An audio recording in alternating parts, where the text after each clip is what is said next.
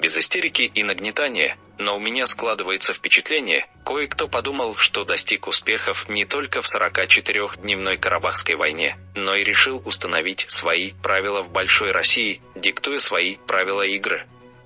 До какой точки кипения устроители подобного решили довести кастрюльку с азербайджанским БЛМ в Российской Федерации? Никогда такого не было и вот опять. В Подмосковье боец ММА из Азербайджана проломил голову полицейскому.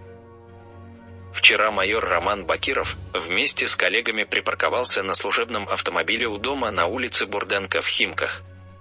В этот момент к полицейским на джипе подъехал уроженец Азербайджана Рамил Исмаилов и попытался прогнать полицейских, используя при этом нецензурную брань.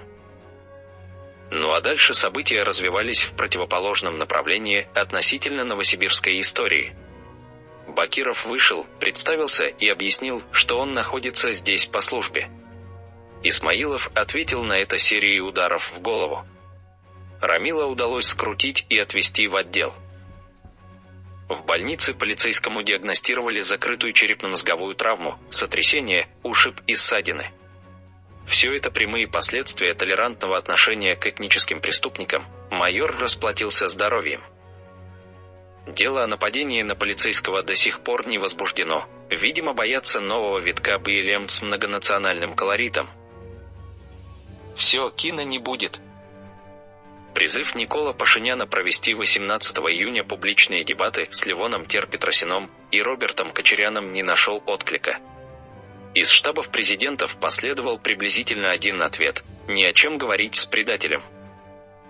Все прекрасно понимают, что данный ответ дежурный, но возникает другой вопрос – каковы реальные мотивы отказа от дебатов – ведь по сути и ЛТП, и Кочерян уже столько критиковали Пашиняна, что казалось бы, почему не сделать ровно то же самое, но уже в лицо Воваичу, да еще и публично перед выборами. Однозначно объяснить данную ситуацию сложно. Могу лишь предположить две причины, ввиду которых публичные дебаты выгодны Пашиняну и невыгодны его оппонентам. Один – любое мероприятие, где нужно чесать языком, особенно на армянском языке, это стихия Воваевича.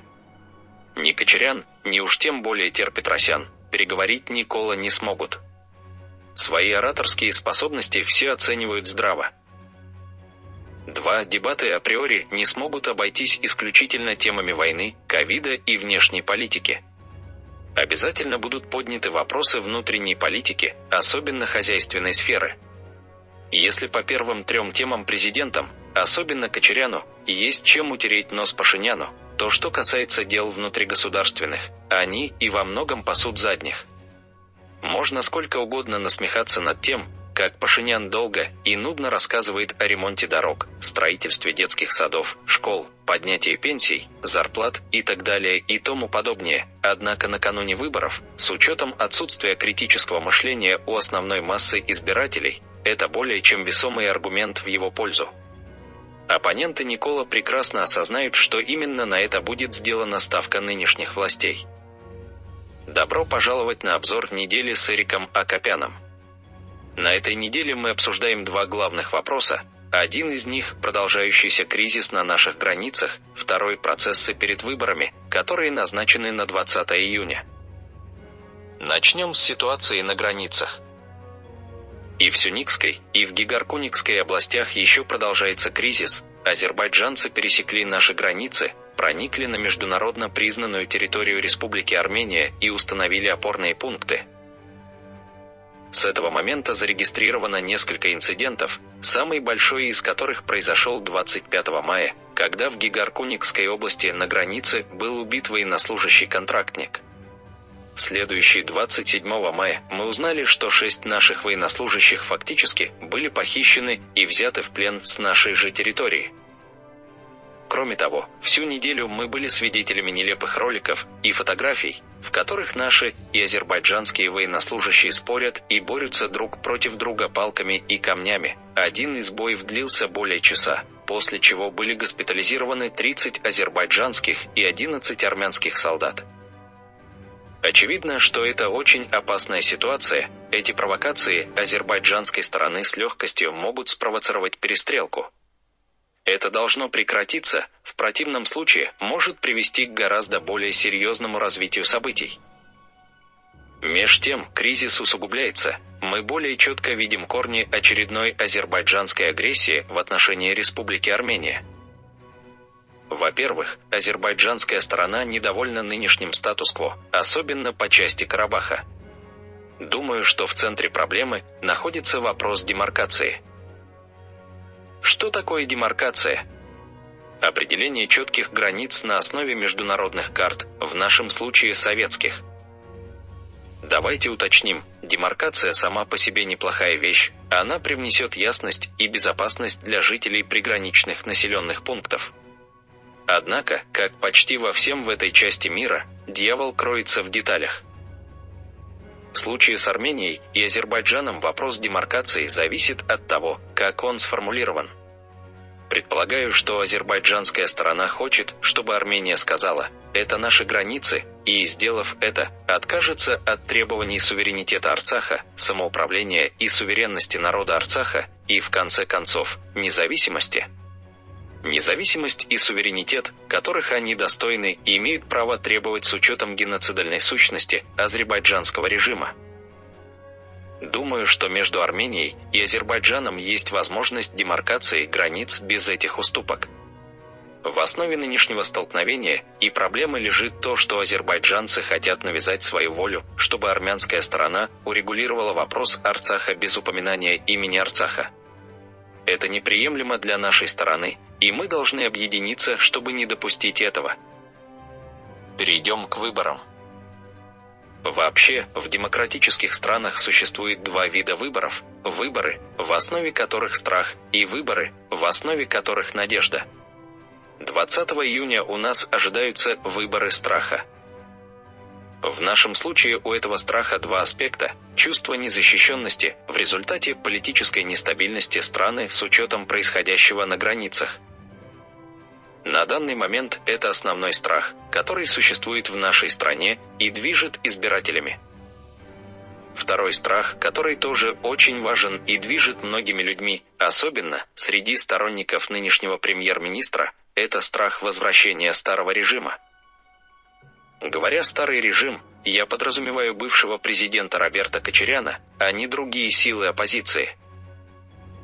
В течение предвыборного процесса мы будем наблюдать за тем, какой из этих страхов одолеет другим? Любая вещь, связанная со страхом перед опасностью, поможет оппозиции. Любая вещь, связанная со страхом перед возвращением бывших, поможет премьеру. На основе вышесказанного я бы хотел дать совет премьер-министру. Было проведено много опросов, по результатам которых он победит на выборах. На самом деле не было ни одного опроса, где бы он ни был на первом месте. Я думаю, что сценарий, при котором он не на первом месте, нереален. Тем не менее, он должен понимать, что все эти цифры ничего не значат, потому что, если вопрос дойдет до безопасности, и люди будут вынуждены выбирать между безопасностью и свободой и демократией, и если это единственный и вынужденный выбор, люди предпочтут безопасность. У демократических стран есть подобная история. Это было во Франции в 1950-е, при Шарле де Голле, в 2000-е в Израиле при Ариэле Шароне. Люди избирают людей, которых не любят, если думают, что последние могут обеспечить их безопасность. Задача премьер-министра и всех демократических сил в Армении и за ее пределами сделать так, чтобы люди не встали перед этим выбором, так как, как я уже сказал, люди выберут безопасность, и они будут правы. Первичный мандат любого государства – защищать своих граждан. Если страна не может защитить свои границы и граждан, она не может делать ничего. Как прийти к ситуации, в которой перед нами не будет стоять такой выбор? Премьер должен действовать решительно, особенно на фронте защиты страны. Вы должны решительным образом уволить некомпетентных лиц. Вы должны назначить на руководящие позиции в армии людей, которые могут взять под контроль ситуацию, вне зависимости от их звания, людей, которым доверяет армия, и которые смогут сражаться и защищать наши границы. Главное здесь компетентность, звание не имеет значения. армия должна быть реформирована. Если есть младшие офицеры, которые могут быть продвинуты и повышены по званию, и если они могут руководить и воевать, они должны быть продвинуты. Вопрос не касается сохранения процедур, он касается эффективности. Это то, что мы все должны понять по части наших собственных сил. В отличие от других стран, в Армении армия – это люди, люди – это армия. Дело в том, что руководство армии не солдаты, а руководство потеряло доверие людей – если премьер не сможет реформировать армию, 20 июня люди выберут того, кто сможет это сделать. Мы на пороге долгой борьбы. Сущность режима Баку такова, что он будет постоянно и последовательно бросать нам вызов. Для нас есть два ключевых момента. Первое – никогда не терять самообладание, быть стойкими и иметь национальную сплоченность в вопросе национальной безопасности и защиты границ. Люди должны понимать, что демократические процессы могут продолжаться, люди могут спорить, но когда дело доходит до наших границ, политика и предвыборная борьба должны остановиться, не доходя до границы. Независимо от того, останется ли это правительство или придет новое после 20 июня, задача номер один, два и три этого государства – реформирование нашей армии. Это должно быть нашим коллективным мандатом. Любое правительство, которое займется усилением армии, должно пользоваться нашей всецелой поддержкой, вне зависимости от идеологии и любви к тому или иному лицу. Это наша задача на предстоящие несколько лет.